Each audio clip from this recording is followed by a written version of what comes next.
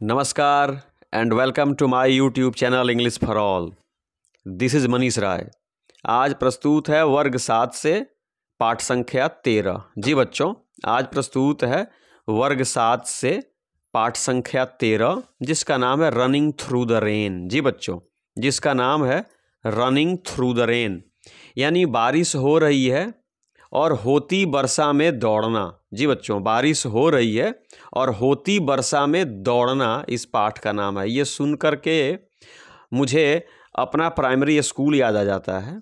यह सुन कर के मुझे अपना मिडिल स्कूल याद आ जाता है, जहाँ हम लोग पढ़ाई करते थे। जब छुट्टी होती थी और बारिश होती थी ना तो रुकने का नाम कौन ले? सीधे बारिश से दौड़ते, भींगते, मज़े करते हुए हम लोग अपने अपने घरों को आते थे। शायद आप भी ऐसा करते होंगे। तो आइए वर्ग सेवन से, क्लास सेवन से, चैप्टर थर्टीन देखते हैं रनिंग थ्रू द रेन बच्चों, सबसे पहले वार्मर को देखते हैं। वार्मर कह रहा है कि how do you feel feel का मतलब होता है महसूस करना। हाउ डू यू फील आप कैसा महसूस करते हो? वैन जब ईट रेन्स जब वर्षा होती है रेन्स वर्षा होना। जब वर्षा होती है, तब आप कैसा महसूस करते हो? ये आपसे पूछा जा रहा है। आगे लिख रहा है how does your locality street city look यानी आपका सिटी सिटी मतलब शहर स्ट्रीट मतलब आपकी गली और लोकलिटी मतलब आसपास। है ना? How does your locality street city look यानी आपका शहर, आपकी गली, आपका घर, आपका मोहल्ला हाउ डज लुक कैसे दिखता है? When it rains heavily heavily का मतलब होता है जोरदार। जब जोरदार वर्षा होती है for the whole day for the whole day का मतलब होता है दिन भर जी बच्चों फॉर द होल डे का मतलब होता है दिन भर यानी जब दिन भर वर्षा होती है, सुबह से लेकर के शाम तक वर्षा होती है ना, तब आपका शहर, तब आपकी गली, तब आपका सड़क, तब आपका घर मोहल्ला कैसे दिखता है? आप इमेजिन कीजिए। आप कल्पना कीजिए बच्चों, आप इस तस्वीर को अपने मन में, अपने दिल में, अपने मस्तिष्क में, अपने दिमाग में उकेरिए कि आप कैसा फील करते हैं और आपका गाँव, आपका शहर, आपकी गली, आपका सड़क कैसे दिखता है जब दिन भर बारिश होती है बच्चों। आइए इस कविता की अब शुरुआत होती है। लिखा कि some are fond of sunshine जो फॉन्ड ऑफ़ देख रहे हैं ना फॉन्ड ऑफ़ का मतलब होता है का शौकीन। जी बच्चों का शौकीन जैसे मुझे क्रिकेट खेलने का शौक है तो I am sorry I am fond of playing cricket है ना? आपको फुटबॉल खेलने का शौक है तो वहीं बच्चों हो जाएगा फॉन्ड ऑफ़ तो कह रहा कि सम आर फॉन्ड ऑफ़ यानी कुछ लोग शौकीन होते हैं। सनसाइन का मतलब होता है धूप। जी बच्चों सन सनसाइन का मतलब होता है धूप। अर्थात कुछ लोग धूप के शौकीन होते हैं। मतलब कुछ लोगों को धूप में बैठने पर बहुत आनंद की प्राप्ति होती है, बहुत सुखद एहसास होता है, उन्हें बहुत मज़ा आता है। तो यहाँ पे कवि ने कहा है कि some are fond of sunshine यानी कुछ लोगों को धूप का शौक होता है मतलब धूप में बैठने पर मज़ा आता है अच्छा लगता है। वेल सो एम आई हाँ मुझे भी। कभी कहते हैं कि कुछ लोगों को धूप अच्छी लगती है।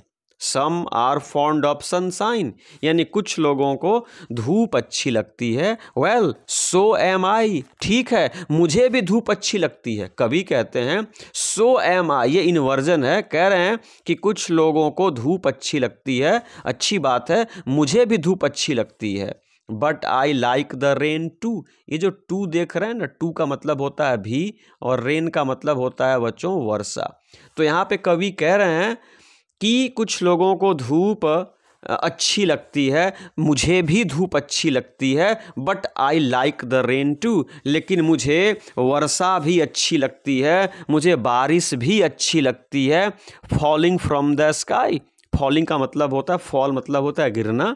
फ्रॉम का मतलब होता है से और स्काई मतलब आकाश। यानी जब आकाश से बारिश की बूंदें टप टप टप टप करके धरती पे गिरती है ना तो उस बारिश को भी मैं इंजॉय करता हूँ। मुझे बारिश भी अच्छी लगती है। कुछ लोगों को धूप पसंद है, धूप मुझे भी पसंद है, लेकिन आकाश से गिर रही बारिश की बूंदें भी मुझे पसंद है, कभी कह रहे हैं। कह रहे हैं फॉर वैन मेरी अप्रैल, बच्चों, मेरी का मतलब होता है हैप्पी जॉयस यानी खुश। यानी कभी जिस देश के हैं ना, वहाँ अप्रैल के महीने में बारिश होती है। वहाँ अप्रैल के महीने में बारिश होती है, लेकिन बच्चों, अपने देश में अप्रैल के महीने में ज़्यादा वर्षा नहीं होती है। अपने यहाँ बारिश बच्चों, जुलाई, जून, जुलाई, अगस्त में होती है। तो लिखा है कि फॉर वैन मेरी अप्रैल ट्रिप्स ओवर ये जो ट्रिप्स ओवर देख रहे हैं ना, इसका मतलब होता है पट पट, टप टप की आवाज़ करते हुए गिरना। जब बारिश की बूंदें हमारी धरती पे गिरती हैं ना तो टप टप की आवाज़ होती है, टिप टिप की आवाज़ होती है। तो वही टिप टिप, टप टप की आवाज़ करते हुए गिरना को बोलते हैं ट्रिप्स ओवर तो यहाँ पे कवि कहते हैं कि फॉर वैन मेरी अप्रैल यानी जब खुश अप्रैल। ट्रिप्स ओवर यानी टप टप आवाज़ करते हुए, जब अप्रैल के महीने में बारिश की बूंदें गिरती हैं, हिल्स पे, किस पे? हिल्स पे मतलब पहाड़ी पे एंड प्लेन प्लेन का मतलब होता है समतल पे। यानी जब समतल मैदान पे, जब पहाड़ी पे, अप्रैल के महीने में, जब टिप टिप करके वर्षा की बूंदें गिरती हैं isn't it delightful isn't it delightful है ना यह आनंददायक इजंट इट डिलाइटफुल डिलाइटफुल का मतलब होता है आनंददायक। तो यहाँ पे कभी कह रहे हैं कि जब अप्रैल के महीने में पहाड़ियों के ऊपर, समतल मैदानों के ऊपर टिप टिप करके वर्षा की बूंदें गिरती हैं ना isn't it delightful running through the rain तब बारिश में धमा चौकड़ी मचाना, तब बारिश में दौड़ना, तब बारिश में भींगना। इजंट डिलाइटफुल आनंददायक है ना? मज़ा आता है ना? कि जब अप्रैल के महीने में जब टिप टिप टिप करके बारिश होती है, पहाड़ियों पे होती है, समतल मैदानों में होती है, और बारिश में भींगते हुए दौड़ना आनंददायक है ना? ये आपसे पूछ रहे हैं इस कविता के कवि। आगे कह रहे हैं कि ब्राइट आईड लिटिल ब्लॉजम्स यानी चमकीली आँखों की तरह, ब्राइट मतलब चमकीला, और लिटिल का मतलब होता है छोटा छोटा, और ब्लॉजम्स का मतलब होता है बर्ड्स, जिसको आप कहते हैं कलियाँ।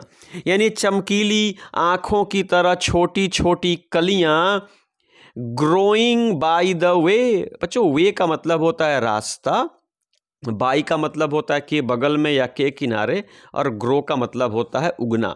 तो आँखों की तरह चमकीली छोटी छोटी कलियाँ जो सड़क के किनारे बढ़ती हैं, उगती हैं लुकअप ये कलियाँ हम लोगों को लुकअप मतलब देखती हैं। As we pass them pass का मतलब होता है गुजरना या बगल से निकलना। तो यहाँ पे कवि कह रहे हैं कि अप्रैल के महीने में जब पहाड़ियों के ऊपर, समतल मैदान के ऊपर जब टप टप टप टप करके वर्षा होती है ना, और उस वर्षा से हम लोग जब गुजरते हैं, दौड़ते हैं, खेलते हैं, कूदते हैं बारिश में ना तो बड़ा मज़ा आता है।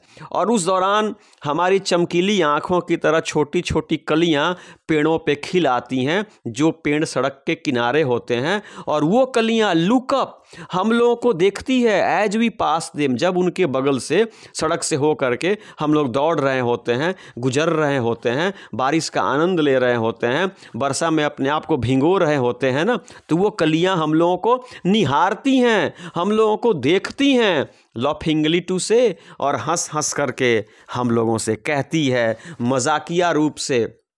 वे कलियाँ हमसे कहती हैं। क्या कहती हैं? सुनिए। So the showers has caught you. अरे, तुम लोगों को सावर ने सावर का मतलब होता है बारिश की बौछारें, बारिश की फुहार को सावर बोलते हैं।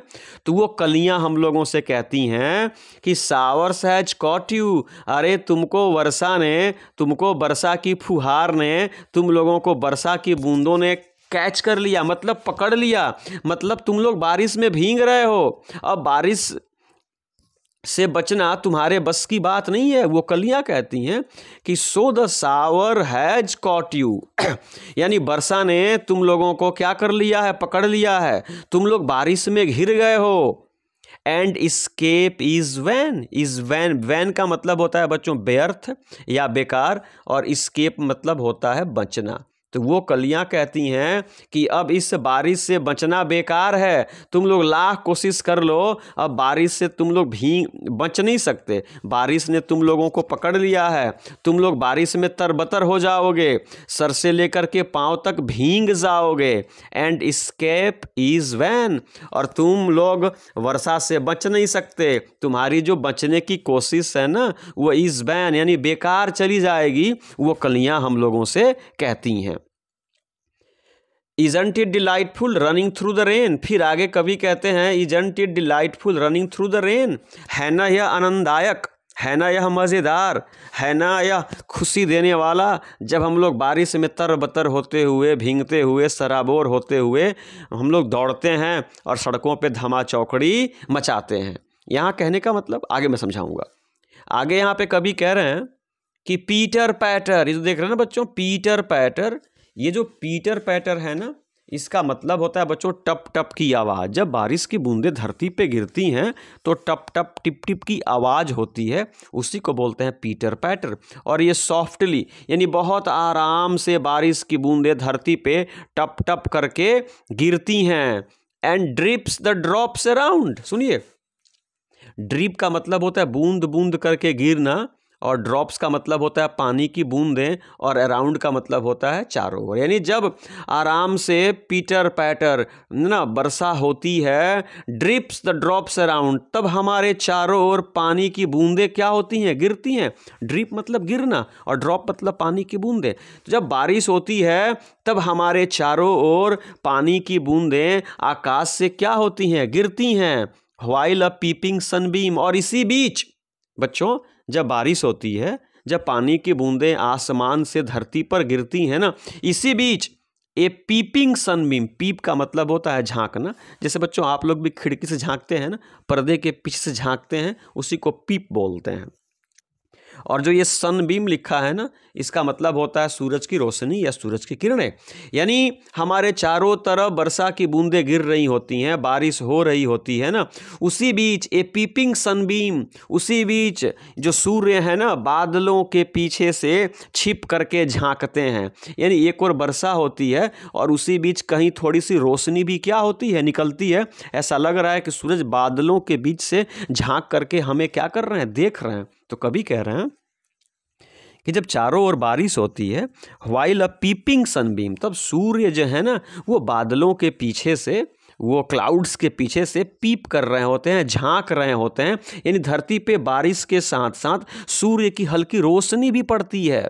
और जब वो रोशनी पड़ती है ना तो वो ग्लीड्स कर देती है। ग्लीड्स का मतलब होता है सोने का चादर चढ़ा देना। यानी जब सूर्य की रोशनी पड़ती है ना तो पूरी पृथ्वी हमारी पीला पीला, यानी सोने के रंग सी दिखाई पड़ती है। तो सोने के रंग सा दिखाई पड़ना मतलब होता है कभर थिनली विथ गोल्ड मतलब सोने की परत चढ़ाना।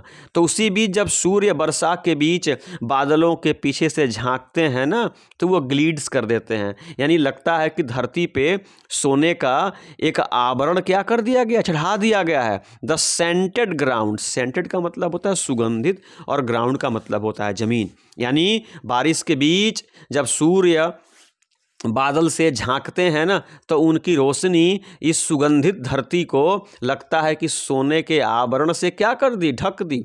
बच्चों सेंटेड इसलिए कहा गया है कि जब बारिश होती है ना, जब बारिश की बूंदें धरती पे पड़ती हैं तो एक सौंधी खुशबू आती है धरती से तो इसलिए यहाँ पे उसको सेंटेड कहा गया है। तो जब बारिश होती है तो सूर्य भी बादलों के पीछे से झाँकते हैं और उनकी रोशनी बच्चों, नीचे सुगंधित धरती को लगता है कि सोने का परत क्या कर दी? चढ़ा दी।